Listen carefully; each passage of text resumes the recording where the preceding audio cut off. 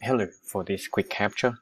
I hoping anyone like to install Scapy on uh, CentOS 8, CentOS 7 or Fedora 30 above. So I done my example here on CentOS. Now I tried to done on Fedora. So assume assume that you may need to have a PIM, a PIM. Uh, what is it called? Um, uh, Python installation uh, packet or packet environment, whatever you may call that okay uh, you try to find out uh, to to tap on your screen and you can see that pin there. Okay that should be help you to install faster.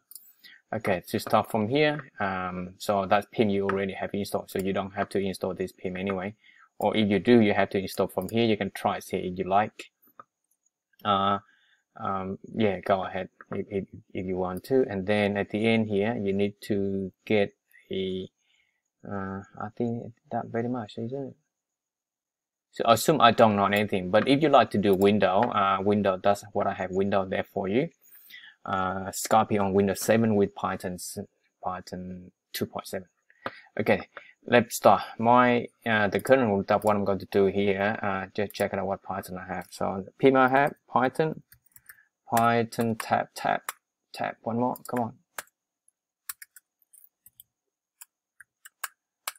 I got two, three, whatever they I'm good. I, I do Python three, yeah. Whatever they take, we go with that. Uh, so say Python, what, what version? They got 2.7. That's also good. They take anyway. Okay, uh, let's go for installation now. 2.7, right? That's 2.7. That's that's pretty good.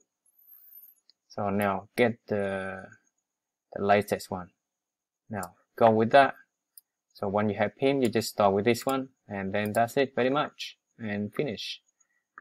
Um, go for, then go.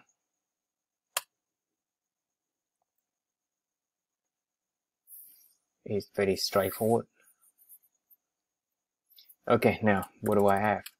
I have, uh, uh, do I finish them? And get whatever packet there for Scapy, right? And then use PIM and current version, right? So now current development, what is it for? Oh, on Scapy. Did I run Scapy already? I did. Now Scapy. Okay, that's it, Scapy. Is it a straightforward? But if you got trouble, if you play around with similar to the window we have here. It's a lot of trouble. It's give you a lot of headache. By the way, currently you don't have to do anything. Okay, so to do with Fedora is pretty simple. All you got to do get a pim install and then uh, and then get yourself in Scapy. So, okay, now uh, the first example we go for is the we can do uh, AOS, AOS, and then see what they have here. So you got whatever packet you have. Uh, let me see what the have here. Are we in Scapy now? We do, right? Okay, let's keep the give this a go for the example, right?